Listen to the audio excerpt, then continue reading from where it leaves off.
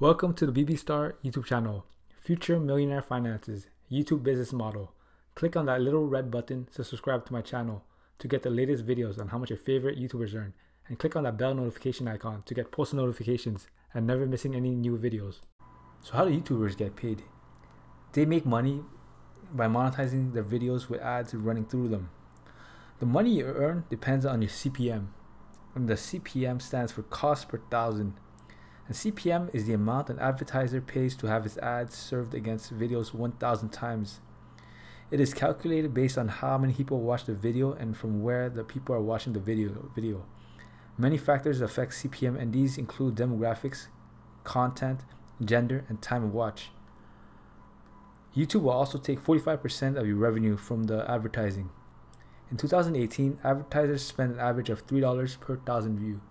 Let's go over Mr. RoflWaffle's YouTube channel. He currently has 1,620,000 subscribers. Total amount of views is 361,123,955.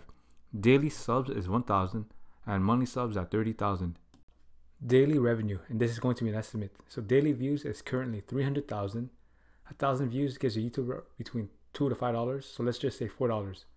So daily income is 300,000 multiplied by CPM of 4, which is 0.004, and you get $1,200.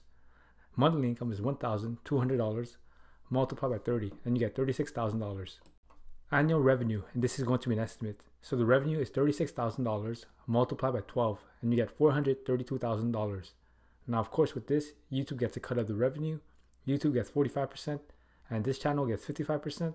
So you have to do $432,000 multiplied by 0.55 and you get $237,600 per year from YouTube ad revenue, which is amazing.